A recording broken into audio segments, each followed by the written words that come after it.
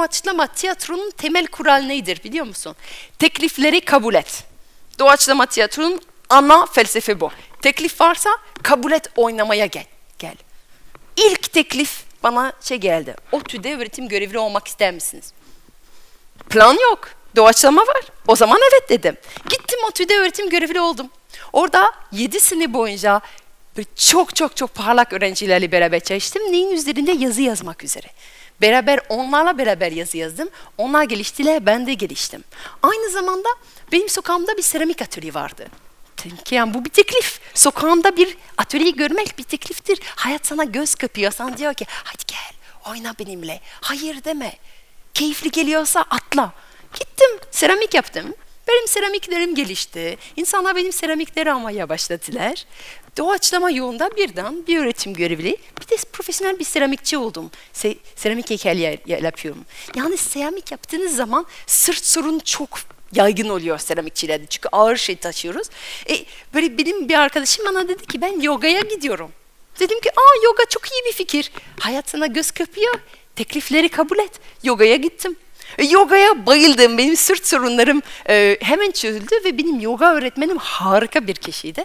Ve ne zaman bir sorun varsa çok sıra dışı cevaplar veriyordu. Krampim var buraya bas. İşte dizim ağrıyor baş parmakların yeri bas. Şaşırıyordum. Herkes aa işe yarıyor, aa işe yarıyor. Ha diyordum ki Elif sen bütün bunları nereden biliyorsun?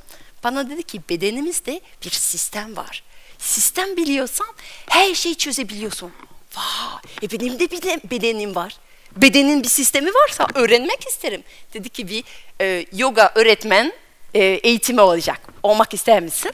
Valla öğreneceğim, öğreneceksem sisteme istiyorum. O yüzden katıldım o eğitime. Yoga öğret, öğretmen olmak hiç niyetim yok. Sadece kramp tuttuğu zaman ne yapacağımı öğrenmek istiyorum. Ve o yoga öğretmenlik eğitiminde bir gün bizim hocamız dedi ki bugün size bir masal anlatacağım dedi. Ve bu arkadaş şimdiden yani çok gönülden teşekkür ediyorum. Bugün dedi bir masal anlatacağım ve başladı Hint bir masalı berbat anlatmaya. Ama çok berbat anlattı, çok karıştırdı, çok zor anlattı. E ben o zamana kadar masal anlatıyorum ama diyordum benim Türkçem çok kötü ben anlatamam. Mümkün değil.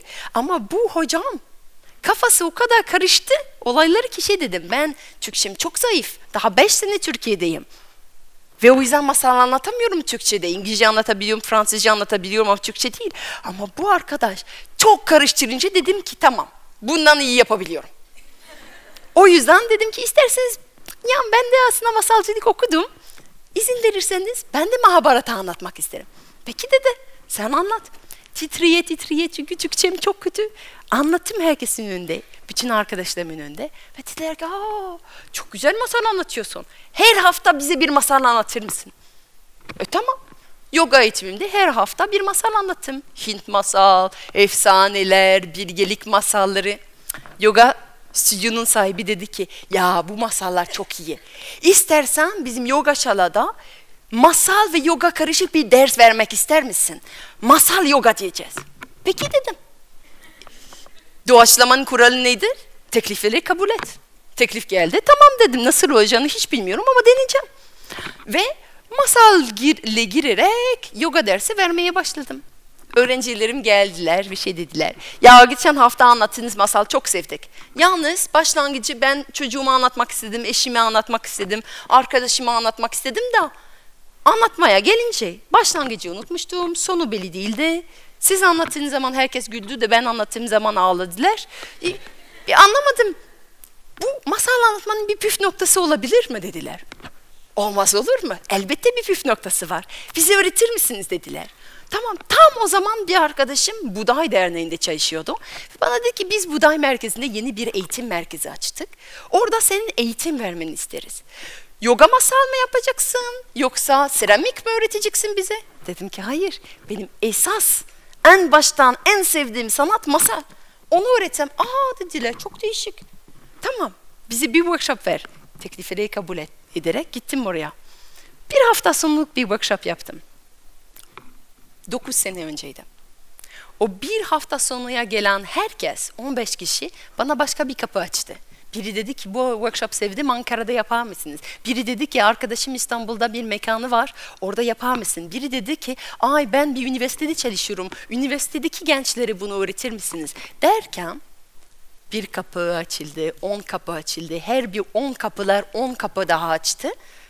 O kadar genişledi ki birkaç sene içinde ana işim o zaman Koç Üniversitesi'ndeydim. Ben ayrıldım ve kendi okulumu kurdum. Şimdi buraya nasıl geldim diye sorulduğu zaman en baştan bir planım var mıydı? Hayır. En baştan bir planım vardı ve o plan battığı zaman benim yolculuğum başladı.